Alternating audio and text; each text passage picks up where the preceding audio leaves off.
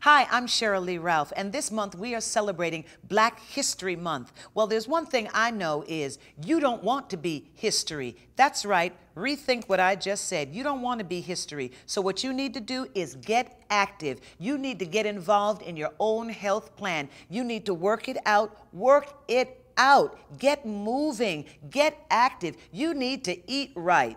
I know it's weird, but if it's white on your plate, it ain't right for your body. You need to put some color on that plate and you need to eat some smaller portions. Yes, smaller portions. You have got to do it for you because this is Black History Month. But I'm Sheryl Lee Ralph, and we don't want you to be history. Mm-hmm. You know what you got to do. Just go on and do it. Hot sauce on the potato chips. Ain't nobody got time for that.